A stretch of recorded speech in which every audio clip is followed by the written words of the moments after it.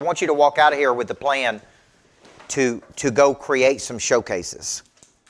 Okay? The whole concept of the showcase is we need feeder systems of people. Right? We need feeder systems of people. Okay? That's really what we need. And that's really the concept of creating a showcase. You know, it's kind of like I said yesterday open house is a showcase. Mm-hmm. Now, the question is how do you get a lot of people into that showcase? A webinar is a showcase. Anything that's free that people could, I call it taste the ice cream, is a showcase. Okay, so if you're an auctioneer and you can, you have a message and a concept and you can go speak out in front of people, the more you can be seen in front of people over and over and over, the more, the more that presence is very important to the equation. So what, I, what I'm trying to show you here is we don't need to rely on one strategy. We need to literally come up with multiple strategies. And these are like pulling levers. So I got a hit list every day. I've got a farm club every day. I've got a red zone every day. I've got blue marlins every day. Right? I'm doing showcase events. I've also I'm hitting. See, we haven't got into hitting the database. We haven't got into, uh, we haven't got talked about social media, what we're doing on social media yet. See, these are all other strategies to be doing to generate interest and leads. If you need more leads, this is, that's specifically what we're talking about. How do I go out and generate more leads? So if I told you, you got to put together a showcase in the next 45 days, it could be online, it could be in person. It could be education. It could be entertainment. It could be edutainment. Okay? Which is where they are entertained and educated. Okay? What I want you to think right now, what would your showcase be? So that's a very specific niche. That's very old and traditional. So they're kind of bringing a new flavor to an old industry. Okay? And that's called Vujade. Okay? It's where you bring a new twist to an old way of thinking. Okay? So, so when I, when he, if you study Hormozi, $100 million offers, which everybody should, he talks about serving a starving audience that has purchasing power in a growing market See, there's certain criteria you're looking for. And the exact example he uses in that book is if you had a hot dog stand, does it really matter how good the hot dogs are if you're serving hot dogs outside of a bar at 2.30 in the morning? See, what is, what is his point there? Right? I'm y'all got a hot dog outside a bar at 2.30 in the morning, haven't you? Now, here, here's the deal. Here's the deal. His point right? Because you go down to Nashville, late at night, Nashville, go out to get a little hot dog stand outside the bars. Now, here's the point. The point is the hot dogs don't have to be that great when you have a starving audience. So the reason I'm telling you this is because I look for neglected problems that are starving audiences. They're starving for something.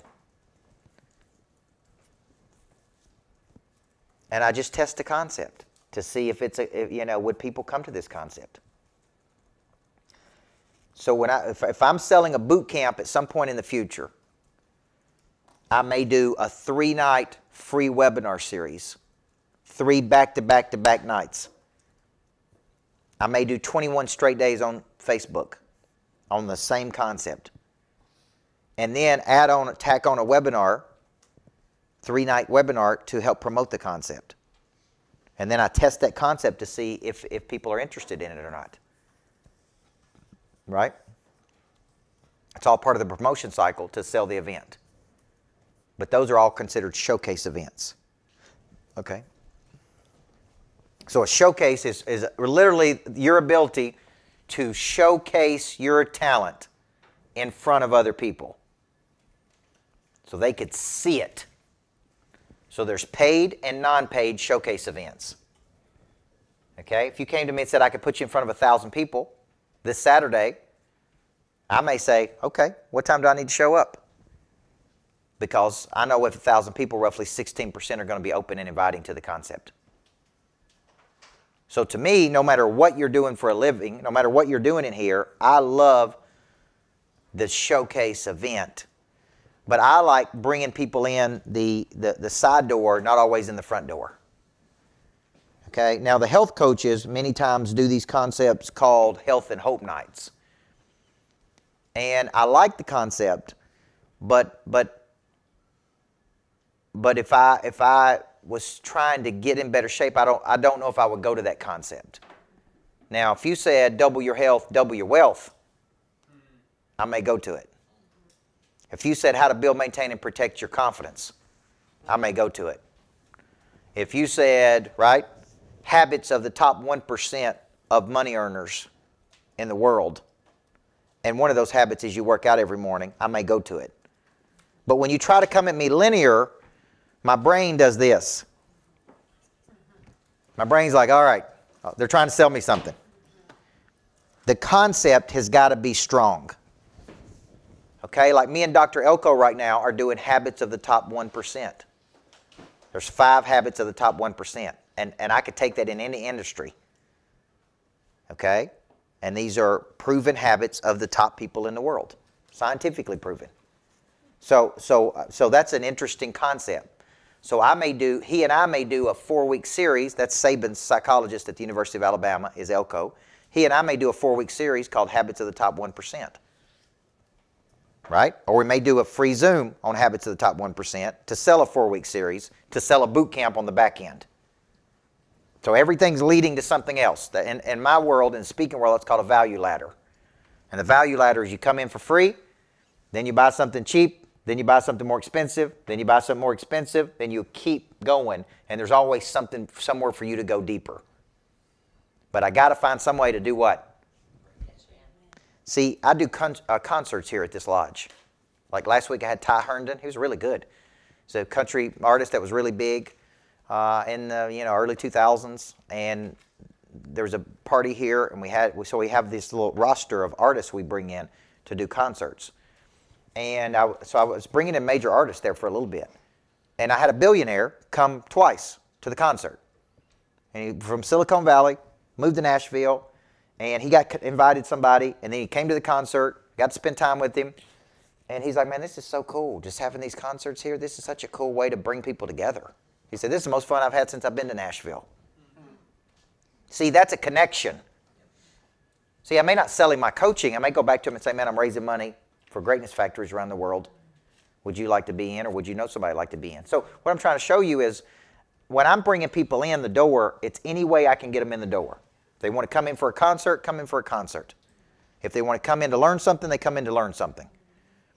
Okay, now in May, I'm bringing in the founder of Priceline. Jeff, uh, Jeff Hoffman, and we're calling that Dinner with a Billionaire because he sold that company, and, and Priceline's worth $104 billion today. He, and he created Priceline. So, you know, I wanted to spend time with him, and I'm like, how could I spend time with him? All right, why don't I just bring him to my lodge? So I called his agent, said, how much would it cost? He said, this is how much it costs. I said, great. I just want to negotiate one thing in there. He does a two-day boot camp on how to scale companies. And it's typically 12.5, something like that. And I said, I'll bring him to the lodge as long as I get a ticket to that boot camp for me. And he said, Done. So he's coming in. We're going to do dinner with the billionaire. The hunting club members get access. Then I'll sell tickets to that, like 497 and you can come in and spend the evening with the, the founder of Priceline. That's a cool concept. Okay? So what is that? Showcase. See, it's just a showcase. Okay? So, so what I'm trying to get you guys to think of is how do we bring people to the party? We got to have something that they're attracted to. And going out and just trying to sell your services to people is really hard. It really sucks. Trying to convince a person they need to get in the gym, even when you know they need to, or, or do, sell their house by auction, or, or list with you, or right? It's, it's, it sucks to go out and try to have to convince people to do this. So my strategy is attracting these people to us by concept. Okay? By concept. All right. What questions do you have on this part so far? Now, Let's go to let's go to work on our planning. Look at our little days. Now we got now we got another thing. We got a showcase here. Look at all these things we got to do all day, every day. Very specific things. I got a hit list, I got a farm club, I got a red zone, I got my level 10s, I got my top 25s, I got my blue marlins, I got my new clients, I got my showcase events. Now, if you go out and do all this stuff and you don't get any new clients, there's something bad wrong. There's something not there is something not working with your product or service if you do these this many things to generate new leads and you don't generate new leads. Something is not working right. Okay? But we're not finished. This is one, two, three, four, five, six, seven, eight strategies to generate new leads. Now, if you had to pick, and I'm, so I'm going to stop right here, and I'm going to have you, if, if I told you you had to pick four primary strategies, these are four things that you are committed to doing every single day that are up here on this board. Which four would you choose? Because I fully understand that you may say, man, I don't have the bandwidth to do all these. But you could say, there's four primary strategies I'm going to use. So if it, I'll go first, and then you guys can talk about it at your table. With me, I'm always going to be. This is going to be a primary for me. Typically, the hit list of initiating is a primary for me. The red zone is a primary for me, and the top 25 is a primary for me. Okay, and I'm going to actually come back and show you one on this. So, so if you said to me, Coach, you can only pick four, these are kind of these are these are mental strategies, but these are action strategies. Like these are things that keep my mind straight. Is everybody with me? Mm-hmm. These are actions. So if you said I could only choose four actions a day, I would choose for sure showcase events, for sure uh, red zone, for sure hit list, and for sure working my top 25. That would be my four primary strategies. And primary means you do them every day. You do them every day. Okay? So, Wendy, when you were talking about your the way your people are categorized in your system, you could very easily go back and associate some of these names with those the way your system is already built. Like your red zones, you know, like your salespeople should be able to say, man, these are people that are red hot.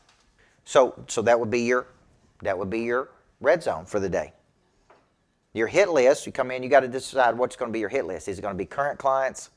Is it going to be people from showcase events you create? Is it going to be like who would be on your hit list, which would represent new money? Who would be your biggest advocates who could go out and, and, and promote you or bring you new people that you need to be spending more time with, adding more value to? Right? And then you just start taking this system. See, in our in our in our Genie Rocket, it's actually set up like this. So in our Genie Rocket, it says hit list, farm club, red zone, top 25.